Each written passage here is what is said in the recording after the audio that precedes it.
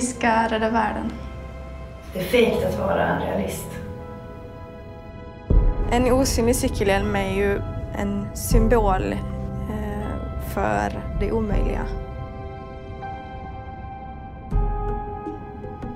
Vår professor, det första han sa var faktiskt I have to sit down. I have to sit down. You're gonna be millionaires. Känslan av cykelhjälmen, så som jag minns den från när man var liten, den är väldigt obehaglig. De är ju otroligt skrymmande och stora. Det är liksom den här svampen på huvudet. Hittar vi på någonting som skulle kunna vara revolutionerande så är det verkligen revolutionerande. För cykelhjälmsbranschen har sett likadan ut sedan den föddes.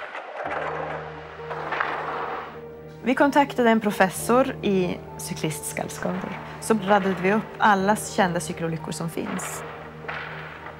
Och iscensatte dem och samlade in rörelsemönstret från olyckor. Sen samlade vi in hundratals timmar med normal cykling och sen hittade en metod att skilja dem åt. Jättelätt, tog bara sju år. Det är på väg att hända väldigt mycket med cykeln i städerna.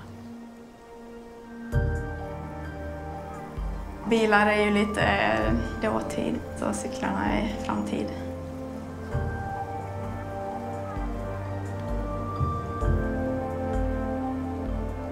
Vi har varit väldigt framgångsrika med att ta in riskkapital och vi har varit väldigt duktiga på att förhandla och tagit in eh, kring 60 miljoner totalt.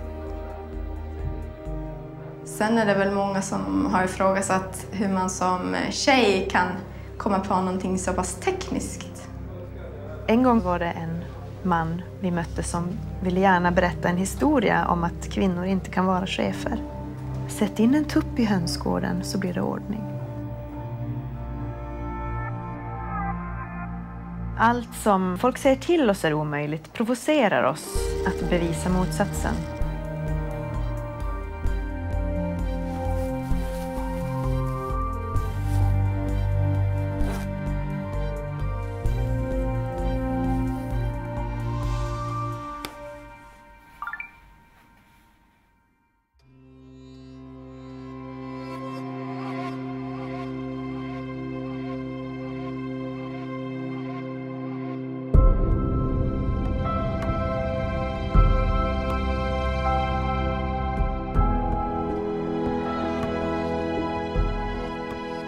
Att ta fram en osynlig cykelhjälm, vilket väldigt många sa till oss är omöjligt att göra det, är ju liksom ett bevis på att man kan klara det mesta.